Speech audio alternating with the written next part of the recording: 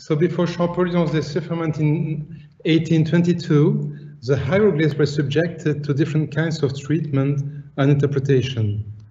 The task for the neo-hieroglyphs in the Renaissance, which is the topic of this lecture, is a fascinating illustration of this.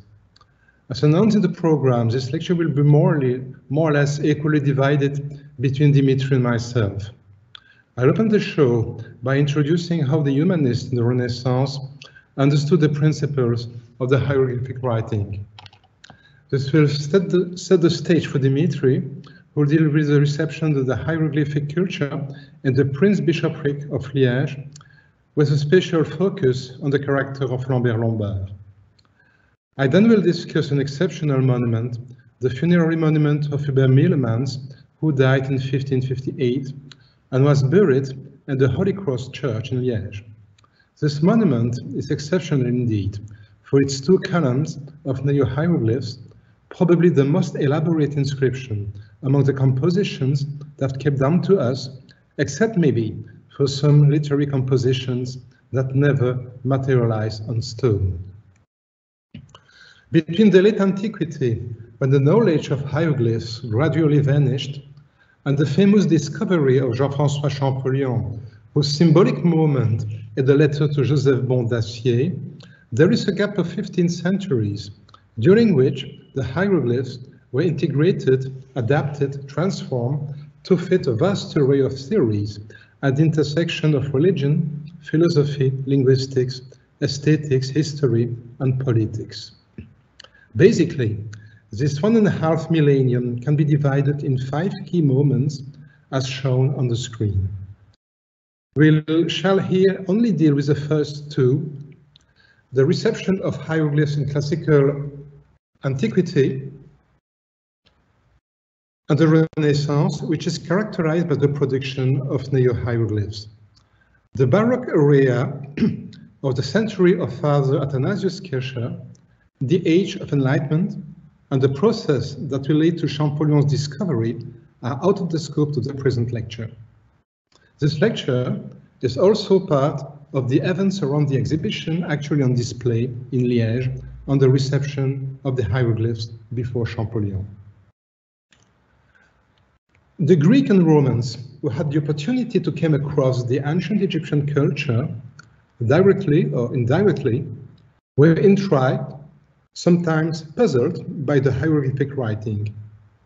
Between Herodotus, who visited Egypt in the 5th century BC, and the treatise of Apollo, provided that the hieroglyphica were actually written by the historic Apollo of the 5th century AD, there is one millennium. During this period, the writing system for the daily life was Demotic, which was later replaced by Coptic, around the turn of the 3rd and 4th century AD.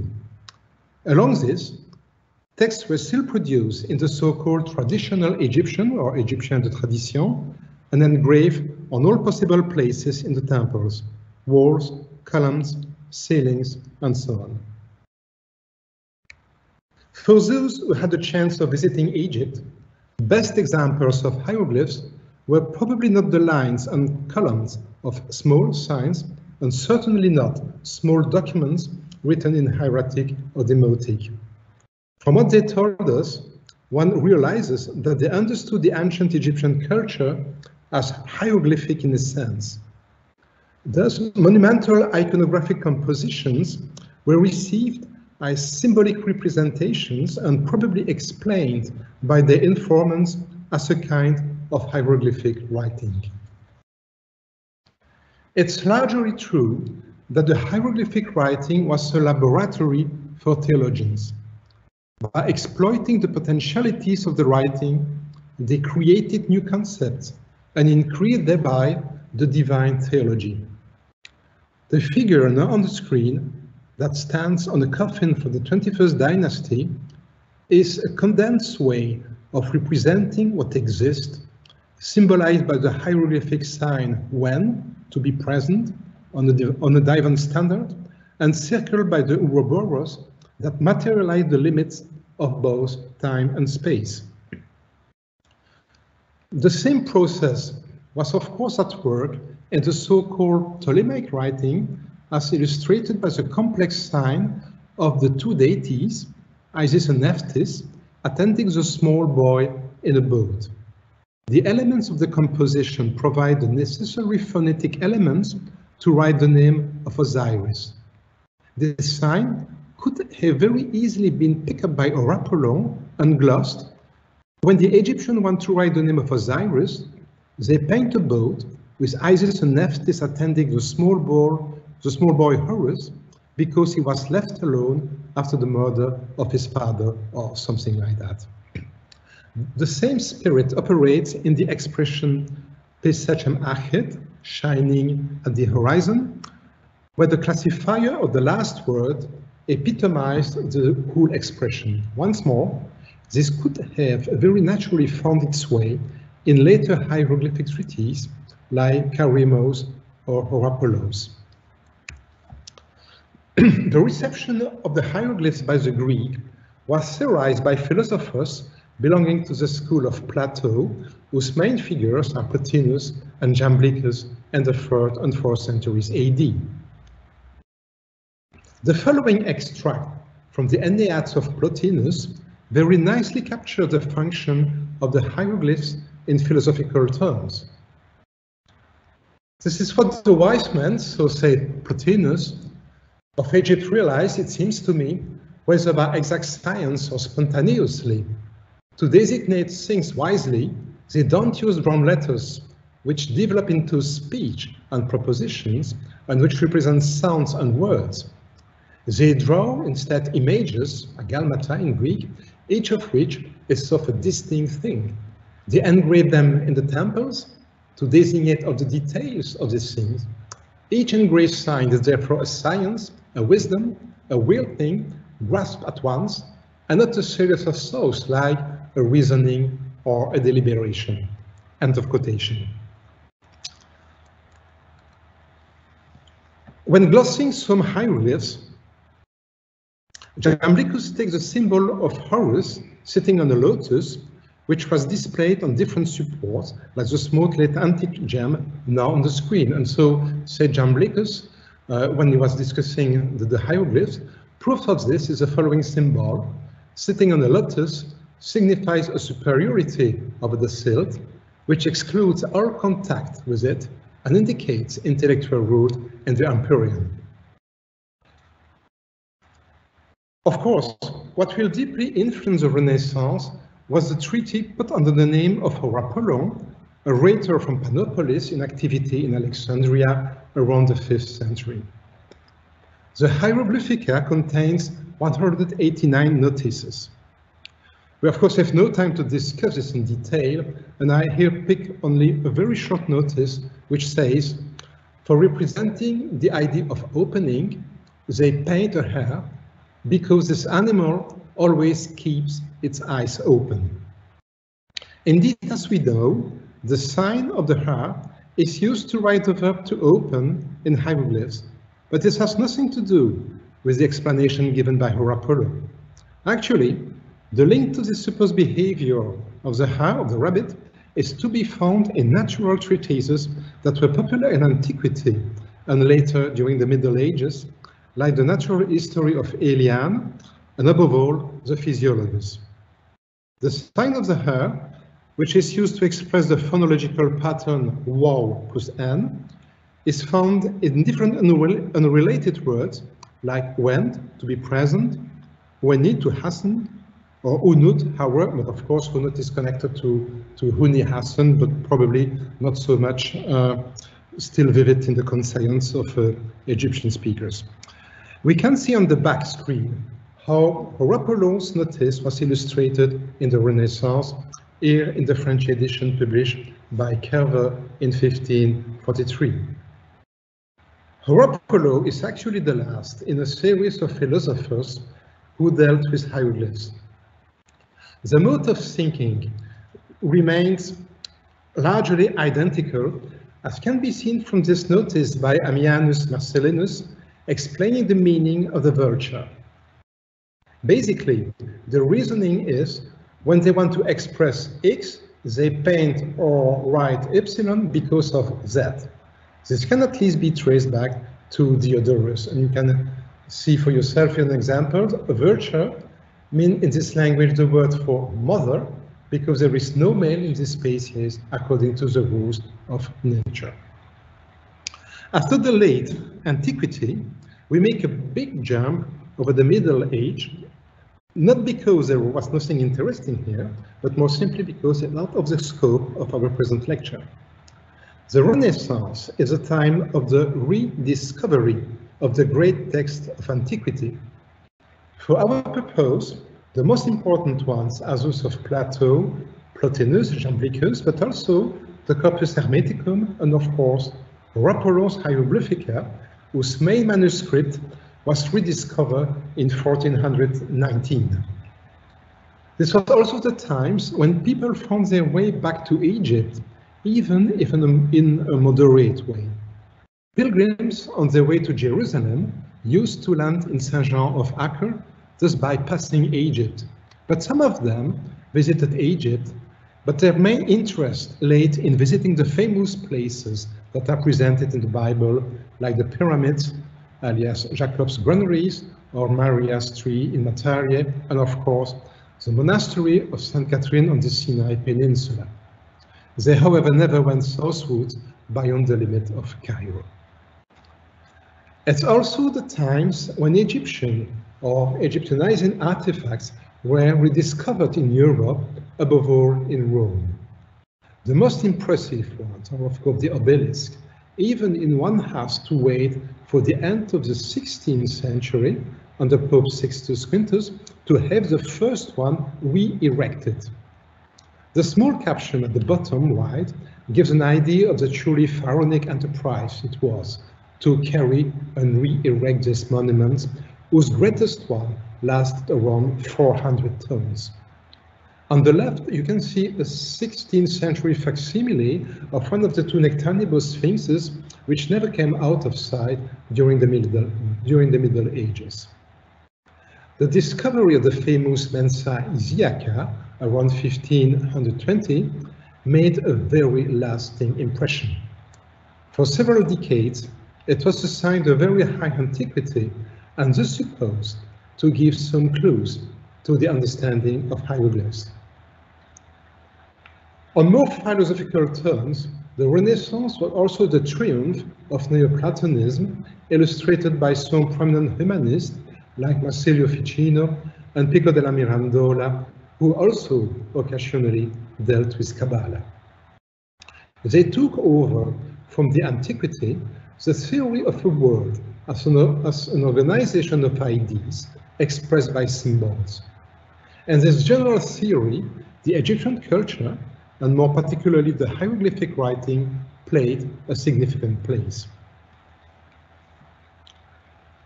You can now see on the screen a passage from Marsilius Ficino's, uh, taken from the publication of its opera Omnia, where he presents the essence of the hieroglyphs with an example taken from Horapollo. And so said Marcel, to express the divine mysteries, the Egyptian priest didn't use individual letter characters, but complete figures of plants, trees, or animals, since God obviously has knowledge of things, not so much a multifaceted reflection on the object, but a simple and consistent form on the thing. When he draws a winged serpent with its tail in its mouth, the Egyptian integrates all such discourse by a single consistent figure, another thing by similar design as, depict, as depicted by Horus, it was the name uh, at that time for Apollo. It's important to note one or two points to understand what the humanists had actually in mind when speaking of hieroglyphs. There was no real interest for translating hieroglyphic inscriptions.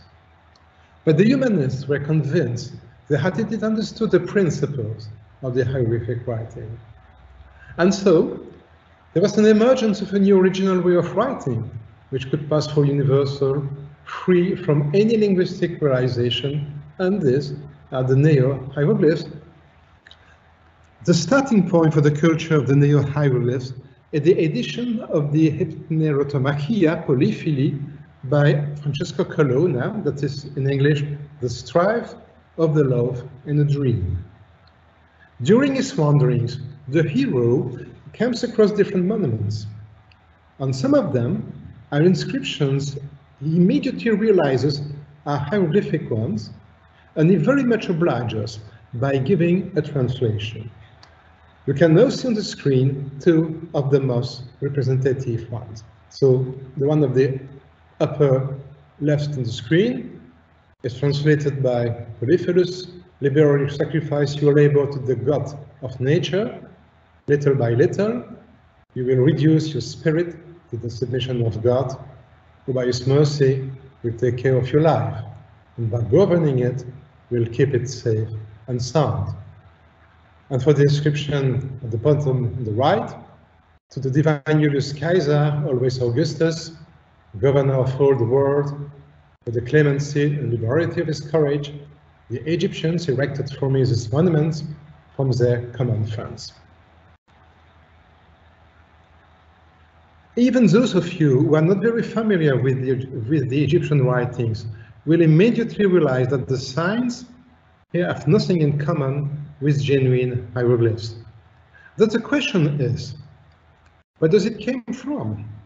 What kind of repertoire was used by Colonna and those who would come after him? The answer is quite simple. They found the inspiration from Roman artifacts that were largely accessible at that time. Cultic objects that could be seen on monuments of the Forum or very closely nearby, or that were reproduced on coins, provided an easy-to-use material.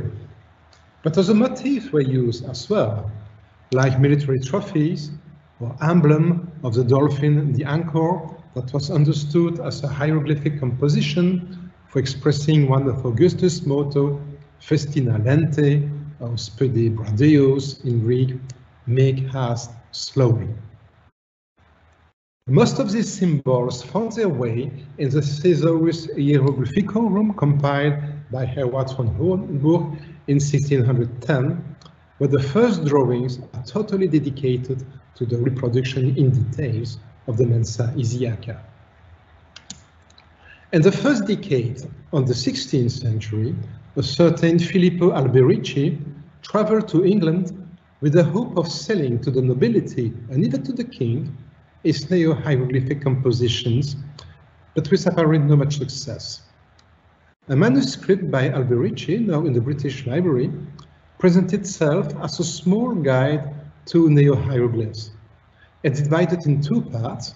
The first one, illustrated on the left on the screen, is a list of the neo-hieroglyphs with the explanation. The second one, right part on the screen, contains some original compositions made by Alberici with the translation.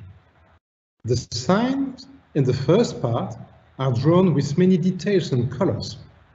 In the inscriptions, however, the signs are stylized, monochromatic, and calibrated to fit in lines.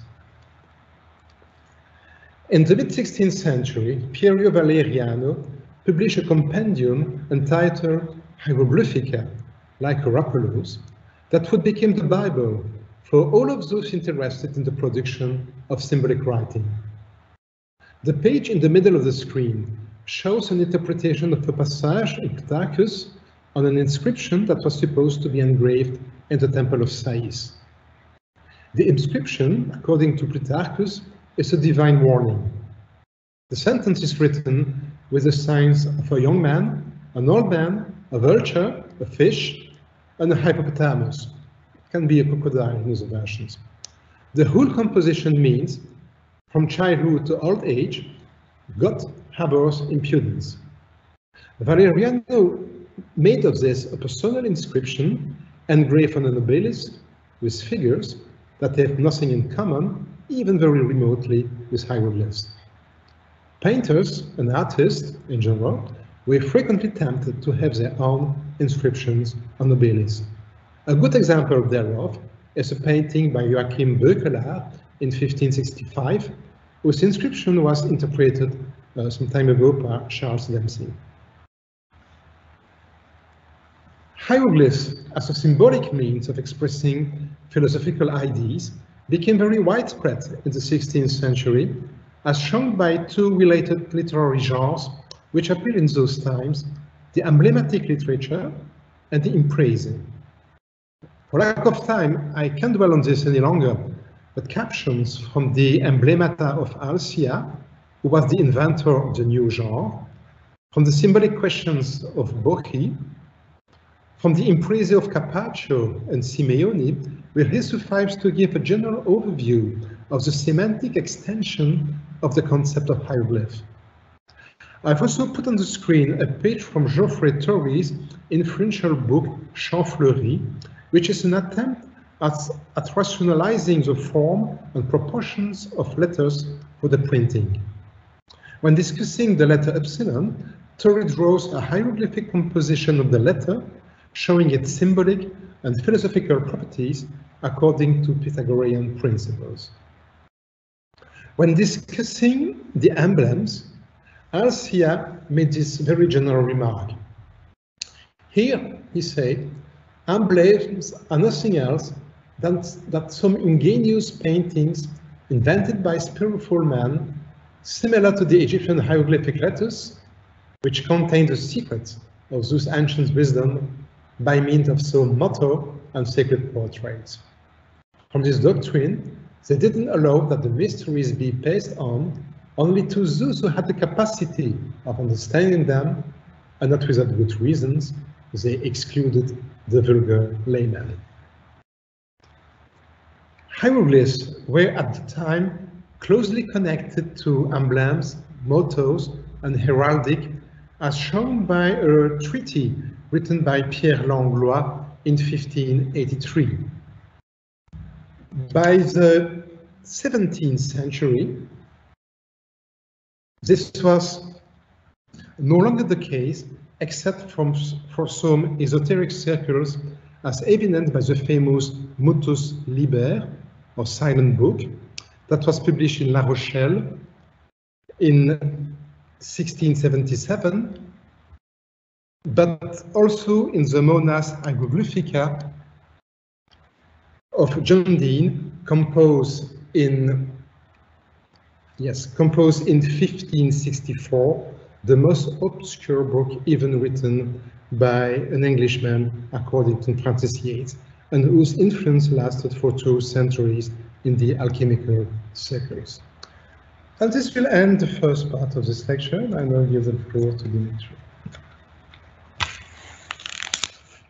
Thank you very much, Jean. So it's my pleasure to present you the second chapter of this lecture about neo-hieroglyphs in the Prince Bishopric of Liège during the Renaissance, with a special focus on the, the figure of Lambert Lombard and his interest for Egyptiaca. So probably most of you don't know about uh, this man called or named Lambert Lombard.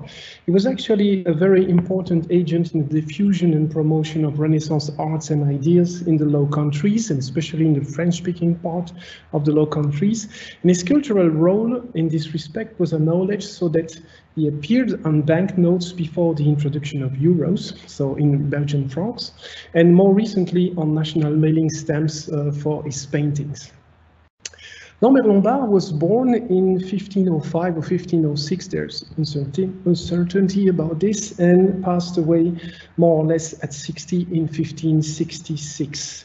He was a student, or he was trained by the famous Jan Gossart, uh, one of the first Flemish painters of Yaminghi to travel to Rome in 1508, 1509 in the time of Pope Julius II.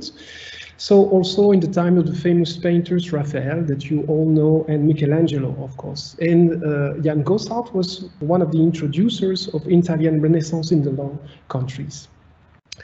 Lambert Lombard was one of his students, and later on he trained generations uh, of artists in the Low Countries uh, in the Manierism era, and even uh, to the beginning of the Baroque period at the turn between the 16th and the 17th century, and these are some uh, representatives of those uh, uh, artistic movements.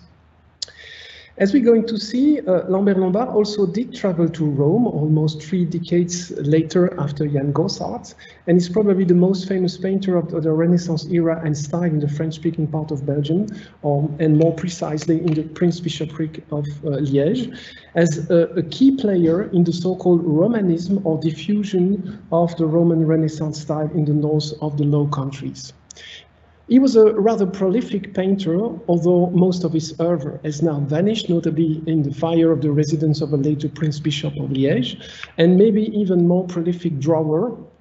We have hundreds, literally hundreds of his drawings, uh, drawings from his workshop actually for himself and for his workshop or team. Uh, he has also a very abundant production of engravings made by others out of his drawings and or his paintings also. In addition to this, uh, to being the main painter of the Prince Bishop of Liège for uh, a few decades in the middle of the 16th century, he's also known to have been an architect, and his name was given to the main architectural institute or school in Liège for a very long time, for churches as well as for private palaces, as you can see on the screen. And he involved himself also in many artistic productions, such as funerary monument design, as this drawing from the Frits Lugt collection in Paris in the Netherlands Institute reminds us. Um, so clearly, he was a typical Renaissance multi-talented and multifaceted artist, but in the lower countries, no, no, not in Italy, active in various artistic medias. And like important artists of his time, uh, he had his hagiography written by one of his former trainees, Dominicus Lampsonius, or assistant who uh, was eager to demonstrate that Lambert Lombard was a doctus pictor, which means a, a scholar painter. Lambert Lombard was lucky enough to start his career uh, at the time when the Prince Bishopric of Liège was very powerful, maybe at the peak of its autonomous history during the reign of uh, Erard de la Marck. Erard de la Marck was Prince Bishop of Liège from 1506 to his death in 1538. He was also Bishop of Chartres in, in, in France and Archbishop of the prosperous city of Valencia, uh, which means that he was a very, very wealthy person uh, who was also nominated cardinal in, the, in 1520. He reconstructed the Prince Bishop's palace ruined by the wars with Burgundy during the previous century and restored and expanded many significant monuments and churches in Liège. His reign is usually considered as the most flourishing of the Prince Bishopric of Liège. Just to give you some ideas about his power, he was protected by the Pope, of course, uh, his elector, but also by the King of France, Louis XII, thanks to his friendship with the Cardinal Georges of Amboise, who was uh, a brother in arms uh, of Erard de la Marck when they fought in the Italian wars or the French wars in Italy. And he later managed also to ally with the emperor, so the enemies of the French uh, kingdom. And he kept uh, uh, those alliances uh, throughout his reign. So uh, he managed to, to have the Prince Bishopric of Liège as a very uh, powerful uh, zone in, in the European chess game of politics. And he was, as I just said, very powerful. So powerful that when the Cardinal Pole fled England to escape from Henry VIII's vengeance because Cardinal Pole condemned the king's matrimonial and religious policy. You all know the story, of course. Pole went to Liège to search for the protection of Erard de la Marck, and he was obviously uh, uh, very wise in, in this uh, uh, uh idea. Uh, so Pole found refuge in, in, Liège, and um, Erard de la Marck sent him to Rome and asked him to be accompanied by his main painter at that time, which is our Lambert Lombard. So our Lambert Lombard uh, um, had the chance to go uh, within a cardinal uh, uh, expedition to Rome. So he was able there to meet most important and prominent artists like the, the sculptor Baccio Bandinelli or Francesco Salviati for the painters. He was also introduced or he had access to the the private apartments of the Pope in the Vatican, such as the famous Raphael stanze or rooms, including uh, Egyptian-like creations, like those Telamon figures uh, derived from the statues found in the Villa Adriana. And of course, he was admitted also uh, uh, in prestigious antiquities collections of cardinals' residences in Rome, uh, where he could copy some monuments and we have some drawings of this part of his of his career. And also he was supposed to buy some antiquities for the prince bishopric of, of liège. Unfortunately for him on the 27th of february of 1538 so during the winter when he was there only three months Erard de la Marck passed away and he was asked to come back to liège. And uh, all the collection that he gathered was sold to the medicis. Um, and then he came back to Liège for almost three decades, where, where he had a very prolific career that made him rather famous in the context of the Northern European Renaissance. So this is about who he was uh, uh, in the Renaissance time. Lambert Lombard uh, uh, can be characterized uh, by the fact that he had a, a, very special and deep and wide interest in Egyptiaca, in Egyptian and Egyptianizing monuments. So, like many other painters or artists of the Renaissance, as, as Jean just mentioned, he painted subjects connected to antiquity, antiquity in a style visually suggesting antiquity, or what was called at the time all'antica, and in many of those painted landscapes, you can find some Egyptian or Egyptian-like monuments, like here, a pyramid. And often it's possible to connect those pyramids with specific monuments, like this one. It's a pyramid that was beheaded on, on its top, as you can see here.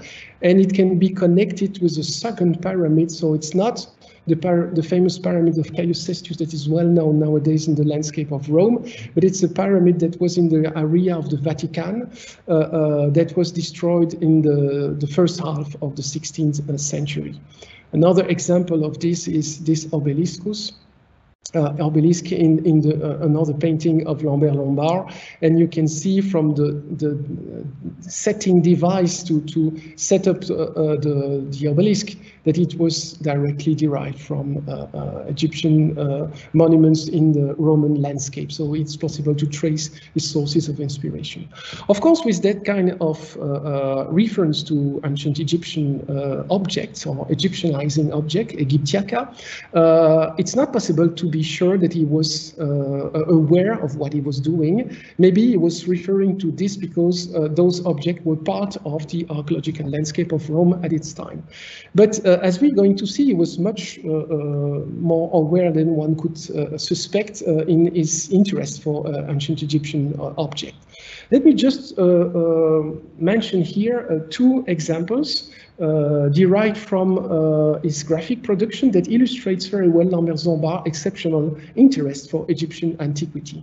This is a drawing that refers that, that represents a thematic reference to Egyptian antiquity. It's uh, accompanied by some inscriptions referring to Eusebius of Caesarea and uh, the so-called Book 11 uh, of Eusebius of Caesarea uh, on church history. Actually, this 11th book was written by Rufinus of Aquileia. It's an addition to Eusebius' uh, work, and it's a reference to a god uh, called Canopus, uh, which is actually, we now know this from an Egyptological point of view, it's a reference to Osiris Canopus, which means Osiris of Canopus, which was a form of Osiris Hydreios uh, in uh, Greek uh, text, so Osiris connected with water. What is interesting, it was studied by Erwin Panofsky, is the history of the rediscovery of this motif. And during the, uh, the uh, 16th century, uh, it was perceived as a god of water and connected with the Roman god Neptunus. And it's only after the, the, death of Lambert Lombard that he was depicted as a hold uh, um, uh, or drilled uh, vase with a human head, as you can see on the drawing of Lambert Lombard.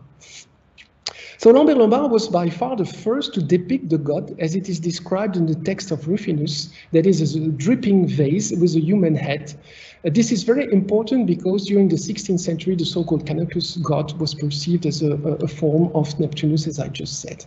How did he get into contact with this text? It's most probably with uh, uh, through uh, uh Reginald Pole, because uh, Pole was um, a fan of Eusebius' books, and Eusebius was one of his favorite authors. And we know from uh, his secretary that every uh, evening they used to read some extract from the books of Eusebius. And this very passage referring to the, the god Canopus uh, makes some references also to ancient Egyptian sacred letters that is about hieroglyphs. Uh, the, the study of this drawing led me to conclude that it was probably made in the framework of a project of Lambert Lombard's friend, the scholar Abraham Ortelius, to whom the Vita Lombardi was dedicated and who was also very much interested in hieroglyphs, as is shown by his medal that you can see on the right-hand side lower part of the screen, uh, with a hieroglyphic allusion to his personal motto. What is quite striking with this drawing is a supposedly Egypt of a supposedly Egyptian god, and which can only be found on this depiction of this deity during the entire early modern time, uh, is the ithyphallic aspect of the god. More than a body allusion, this is a very important this is a very important detail in this context because at that time Osiris was perceived by Renaissance scholars as a god of fertility, assimilated with the Roman Priapus, because of the posthumous begetting of Horus in the myth of Osiris, as it is recalled by Plutarchus. So there might be more Egyptological knowledge in this drawing than one could suspect at first sight. It seems that Lambert Lombard understood somehow that Canopus was a form of Osiris, otherwise this noticeable detail would be difficult to understand. So Osiris Canopus as Osiris Hydreios. Let's focus on another drawing from the prolific production, graphic production of Lambert Lombard. Here, some uh, uh, Telamon figures à l'antica, and this one is, of course, of special interest for Egyptologists. As you can see, it's a depiction of the goddess Sekhmet. It's quite easy to connect it with the only standing statue of Sekhmet that was known at that time, a statue that is now kept in uh, the Villa Albani Torlonia in Rome, in this museum. And we know that it was restored in the 18th uh, century, so uh, you, you, can see the shape of the original uh, uh, monument. It was formerly in the collection of the Cardinal Cesi in Rome, a collection that for sure, we know this for sure, Lambert Lombard did visit. Uh, he was not the only one, and uh, you can see, for example, uh, among other uh, more classical statues, this statue of Sekhmet, as it was copied by Martin van Heemskerck, one of the coevals or contemporaries uh, of uh, Lambert Lombard, also in Rome at the same time. Here you can see it. What is really striking uh, when you, one consider the, the, the, drawing of Lambert Lombard is that it, he did not just copy the object in its archaeological state, he graphically restored it, but he did not restore it as a Roman uh, uh, object like Pirro Ligorio did in the middle of, of the screen. He restored it as an Egyptian object or an Egyptianizing object in an Egyptianizing style. He added on the on the head of, or he understood the headdress of the goddess Sekhmet as an nemes, and he had it on her hips, a shendyt loincloth. Of course, from an Egyptological point of view, this is a mistake. Uh, uh, it was probably inspired by the Telamon Antinous found in the uh, uh Villa Adriana, copied by uh, Raphael and his uh, workshop. But it's very interesting because it shows that Lambert Lombard was capable of recognizing those iconographic elements as Egyptian in order to restore in his drawing the statue of Sekhmet, also identified as an, as an Egyptian deity. So he had a very careful look at the object themselves, and this very careful look at objects for themselves in the uh, uh, materiality is typical of the 16th century with what one may call the archaeological turn. You know about the linguistic turn, you know about the iconic turn. There's also an archaeological turn, uh, so a switch from text to monuments in order to reconstruct ancient history in the 16th century. And obviously, Lambert Lombard took his place in this movement as an antiquarian artist, paying much attention to the materiality of those objects and the scholarly world of this time with images, putting Egyptian realities into images. And uh, uh, this is an illustration of the interest for, for uh, uh proper uh, or correct uh, um, copies of Egyptian inscriptions on Roman monument that only appeared in the 16th century. And this provides me with a very nice transition about the hieroglyphs of Lambert Lombard. So uh, Lambert Lombard uh, uh, oeuvre is sparkled with uh, a lot of references to Egyptian hieroglyphs. You have here uh, uh, an example of this, probably one of the earliest in his career, with a scene about the life of Saint Paul, showing an altar for a god, which is empty, it's for the unknown god, but actually his finger is pointing to a group of signs that are hieroglyphs. Of course, as Jean just uh, mentioned or stressed, these are not Egyptian hieroglyphs. They have another uh, uh, shape, so these are not Egyptian hieroglyphs, but those uh, reinvented uh, hieroglyphs of the Renaissance, so-called neo-hieroglyphs. They are quite numerous in the graphic production of Lambert Lombard, as you can see here, with a drawing from the British Museum, in, uh, from the life depicting an element, an episode in the life of the of Jesus, Another one here uh, Uh, in the Rijksmuseum uh, in Amsterdam. Or another one here from uh, a, drawing from uh, a painting, a drawing of Lambert Lombard that was transcribed into engravings by Jérôme Cock another one here. So it's the same principles that are used with a panel, a monumental panel with some hieroglyphs, and you have a, a, a gesture that indicates uh, uh, where to look at uh, for, for the beholder. These are also attested, uh, those panels with hieroglyphs in paintings, like here in the rejection of Joachim's offering. So again, it's connected with the, the life and use or pre-use and pre-life of Jesus or here uh, in the circle of the, the, the famous wives, uh, uh, famous ladies in, in, antiquity with Rebecca and Eliezer at the well. And when you look at the well, you see that there is also a hieroglyphic panel. So we have a lot of those hieroglyphic panels, and obviously they refer to the, the book Jean uh, mentioned earlier in this lecture, the book of Francesco Colonna, uh, Hypnerotomachia Poliphili, especially in the Kerver's uh, uh edition. One may, of course, wonder, just like for the landscape with Egyptian or Egyptianizing uh, uh, object, uh, whether those panels, those monumental panels, were hinting at hieroglyphs as a phenomenon, or were they meant to be read as a real inscription? We actually have some clues to answer this question because in the so many drawings of Lambert Lombard, there are some drawings with the translation of those compositions, as you can see here. So I just mentioned two here, like here you have the translation. Uh, please note that it's written not in French, it's not in Dutch, it's written in uh, Italian, a language that we know from the hagiographer of Lambert Lombard that he didn't, it was not at ease with this language. He could understand, as uh, Lampsonius wrote, he could understand Italian and Latin in uh, the, the sense that it was close to French. So he, he always regretted throughout his life that he was never trained in Latin or Italian. It's very interesting that he is using Italian to translate translate uh, uh, hieroglyphic compositions. And of course, with those translations, we can trace down uh, his sources, which are Colonna and Valeriano that Jean referred to earlier in this lecture also. Here, a modello with a, a finished composition. When we look at the use of uh, so we know that he was using them uh, uh, Uh, uh, uh, willingly and consciously, knowing that he was creating some inscriptions. When we know this, we can go back to his oeuvre and recognize that he had thematically very coherent and consistent use. So, for example, here it refers to God with the eye, the, the solar uh, uh, disc, and the lion, which means God is great and uh, eternal, and you can find the same kind of compositions on other productions of Lambert Lombard, like here on this engraving.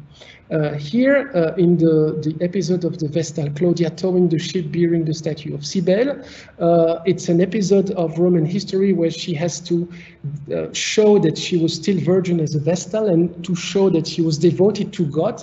And you have some inscriptions that are an extract from the, the text that Jean was also referring to, which uh, suggests you to devote yourself to God and so God will protect yourself. So it's thematically very consistent and coherent with the theme depicted. And uh, most of those uh, uh, evocations are connected with the life of the Christ. And we know that uh, from Marsilio Ficino, also referred to earlier, uh, that hieroglyphs uh, were perceived as a sacred script encoding a Prisca Theologia, as Marsilio Ficino said, that foretold the Christian revelation. So it's very meaningful to put them in the evocation, the graphic evocation of the life of Christ. Uh, in terms of sources, uh, he derives these hieroglyphs from Colonna, but also from Piero Valeriano. As Jean referred to this, the book of Piero Valeriano was published quite late in the 16th century, uh, two years, uh, uh, um, no, uh, 10 years before the death of Lambert Lombard. But we know that the text circulated earlier, especially in Rome, uh, where uh, uh, Valeriano was precisely in 1537 when Paul arrived in, in Rome and also in at the court of the Pope uh, Lambert Lombard. So it seems that uh, from those objects that uh, Lambert Lombard was perceived as some sort of a specialist in hieroglyphs in Liège in the 16th century capable of writing some mottos or some devices, some sentences in hieroglyphs, just like Alberici that uh, Jean mentioned earlier.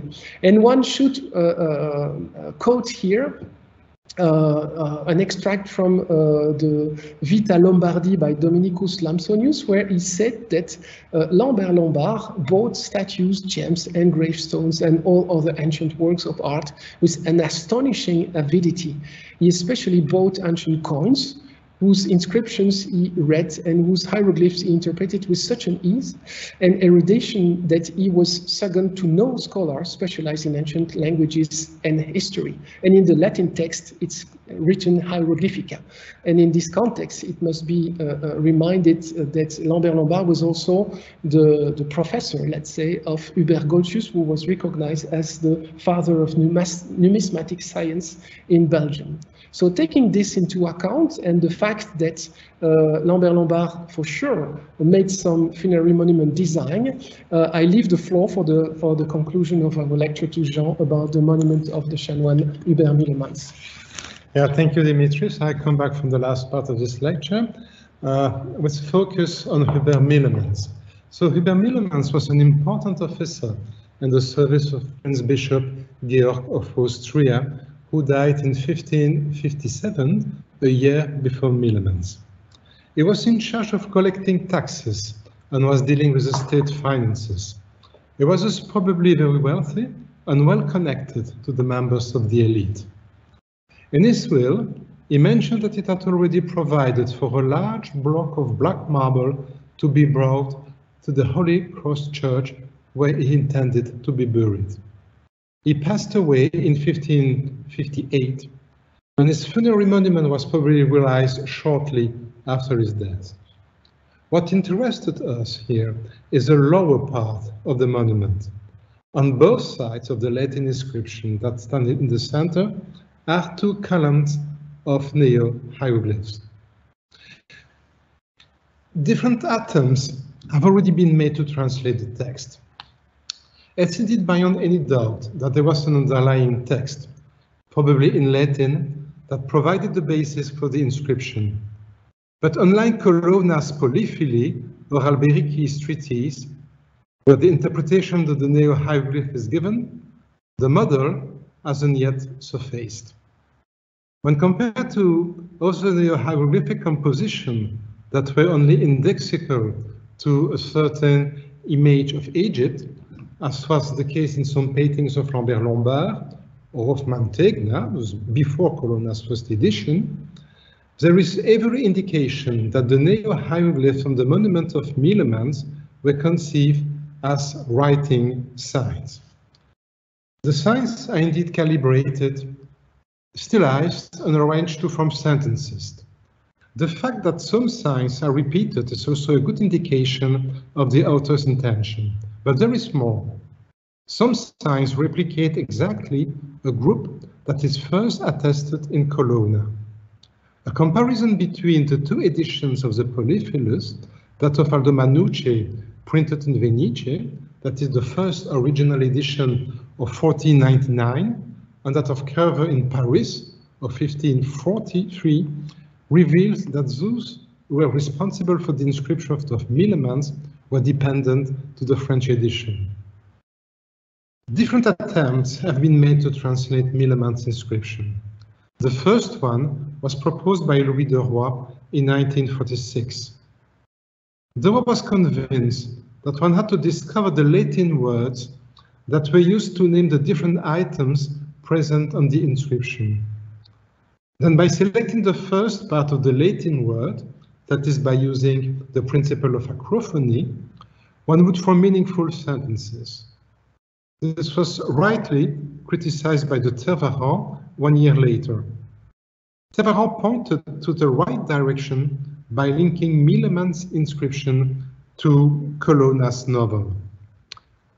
Tervarent's translation undoubtedly made a step forward, but he wasn't aware of all the connections that could be made with all the production of neo-hieroglyphs in the Renaissance, nor the numerous theoretical treatises dealing with a symbolic way of representing ideas.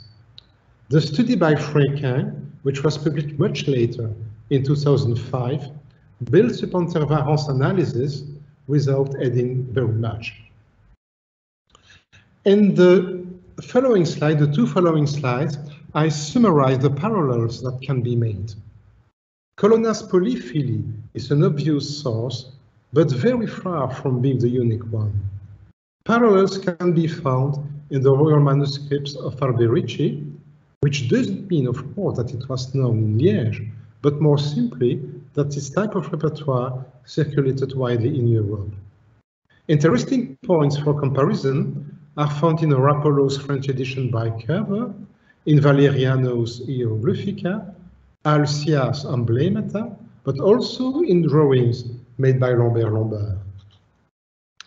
The dog, which appear on the second column, is unknown in parallel sources, in Italian sources, sorry, but present, for instance, of the magnificent triumph arch for Maximilian designed by Dürer.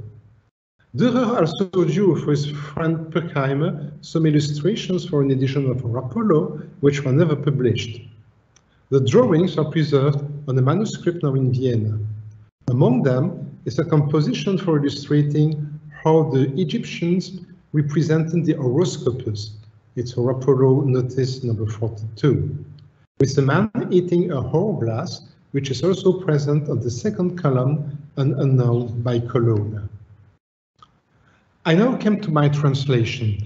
Considering that is a funerary monument, I suppose that the underlying text was composed in Latin, which is important for the syntax, for the place of the words is more flexible than in French.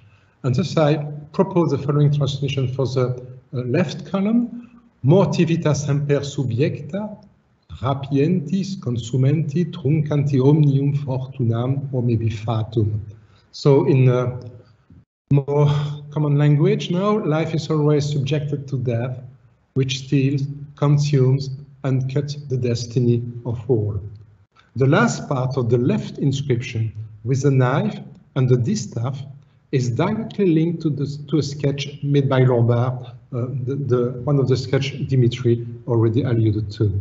The composition which is preserved in the so-called album Arenberg is translated by Lombard Breve veloci è la vita dei grandi, which means short and quick is the life of the great ones.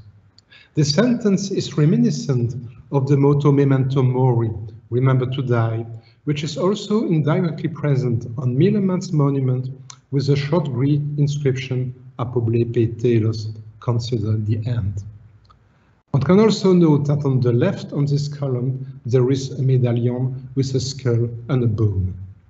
The first inscription are thus a thematic unity, very much in the spirit of what can be expected on a funeral monument.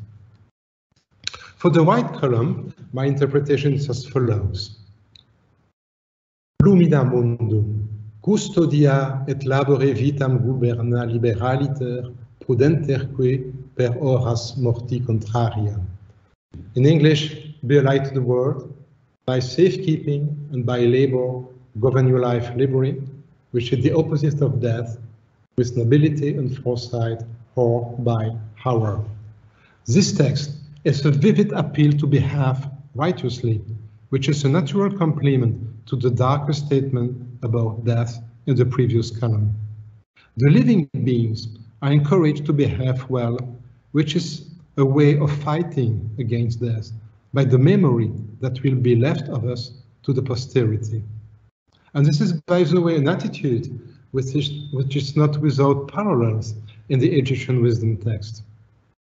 Appeal to a dignified attitude is also found on one hieroglyphic inscription of Colonna's Polyphily, firmam custodiam vitae tuae misericorditer gubernando tenebit in columnem preservabit, and in one of the composition made by Alberici, where the conduct in life is compared to a ship et prudenter te in mundo gubernes and govern yourself with prudence in the world. And we know at the end of our journey. After the Renaissance, the production of texts in neo-hieroglyphs became old-fashioned and outmoded. The spirit of the Renaissance, however, remained well alive in the 17th century. Father Athanasius Kircher, indeed, kept the symbolic approach of his predecessor, but applied it to real hieroglyphic inscriptions like the obelisks that were re-erected in Rome. He also added to his quest a theological dimension, being persuaded that the inscription carved on the obelisk had preserved meaningful traces on the true face, and this is the principle of the Prisca uh, Theologia Dimitri also alluded to uh, earlier in this lecture. But this is another story, and with this we both of us, thank you for your attention.